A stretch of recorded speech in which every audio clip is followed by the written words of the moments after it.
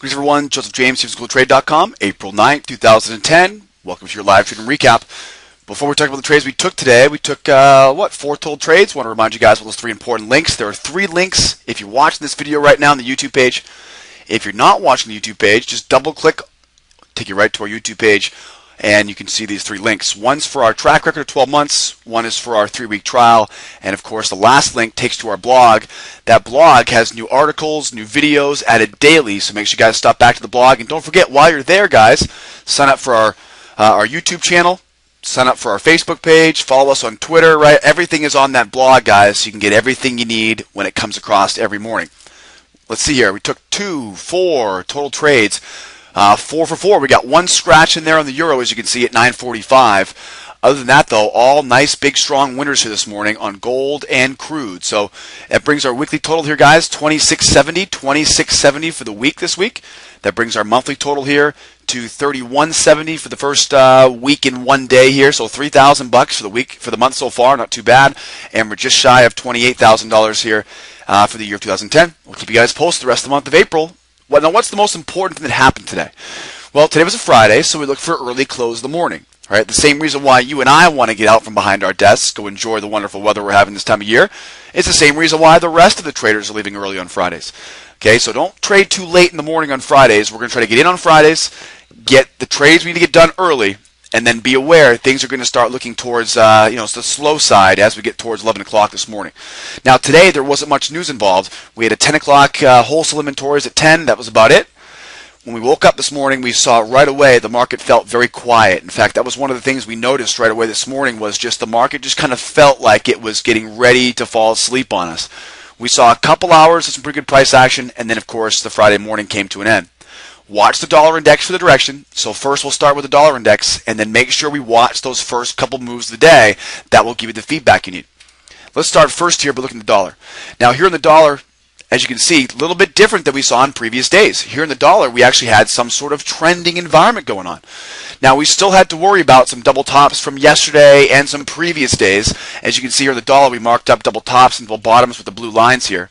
You'll notice here, right, for the most of the morning here, we were resting on right here just about 945 950 and then once we broke below that that's when we really started to see things begin uh, to kind of move and shake on us here the rest of the market this morning. So we watched the dollar. First thing we saw on the dollar was that double bottom. We quickly saw the dollar break below that double bottom and then once it broke below the double bottom it stayed down here for a little while but then quickly got sucked back up in here. And you can see what happened is now it began to kind of trickle itself right next to this trend line now, what do we always say? Whenever we see a market that kind of sits on those trend lines, it's always a signal of weak price action. Okay, a trend line is a very easy target for the institutional traders, all the speculators out there. So if there's nothing else going on in the market, if nobody really has any sense of direction, it's very common in a weak environment for the price to hover around a trend line, for it to hover around a, a, a, big round number such as 81 even or 82 even. And in this case, we saw exactly that, right? And that was one big concern we saw first, you know, late in this morning was that we had the dollar here now sitting on this trend line here. Now what that means is we've got buy pressure, sell pressure combining right there, which means that kind of combination of two forces acting against each other are now going to result in choppy price action on the rest of the markets we trade. So when we saw the dollar break below double bottoms, we had a good window of opportunity there. But it didn't last very long because it quickly got sucked back up into that trend line here. And again, choppy on the dollar, choppy on everything else. So let's see how that played out here. Now remember, we broke below this, right? What time? 940 to 950, right? So we broke out 940, 950. Let's see if that makes any sense to us later on in this presentation. Let's keep track. Next up, of course, I wanted to show you more specifically here. On the left side, here is the dollar, right? Here's your dollar index on the left side, and then you've got your crude oil on the right side.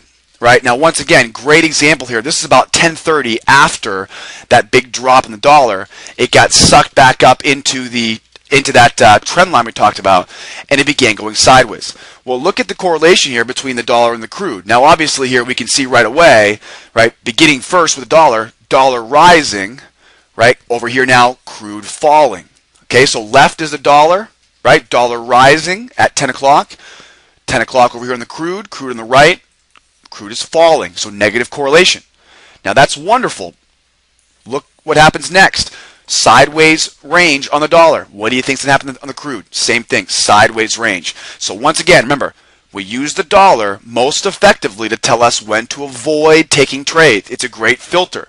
Sideways dollar, sideways crude, wait for it to break out on the dollar, then the crude should also break out with some sort of conviction.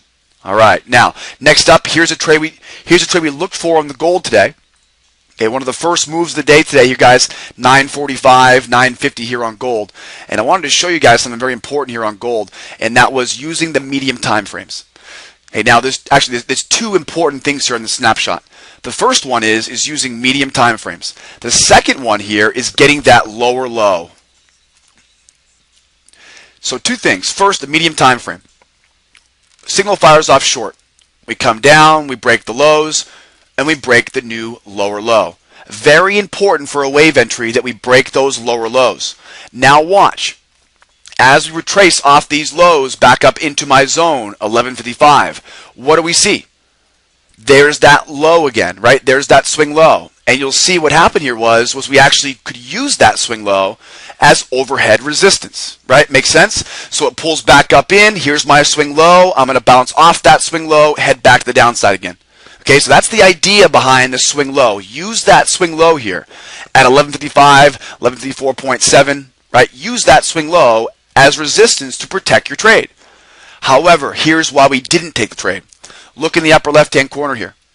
Notice where we are 53.6. See how we were not below that trigger line? Trigger line there at 53.6. See how we just tried to break below it right there? Just tried to break below it. Couldn't get it done though. Guys, remember, even though 99% of these rules lined up on this one, we still had to be careful because we had that support at 53.6. And if you follow me back to the move down here, you can see 53.6 is right here. It bounced right off it and then reversed back against us. All right, guys, so be careful. Watch those medium time frames and keep an eye on those lower lows because clearly here, a good example of where we can use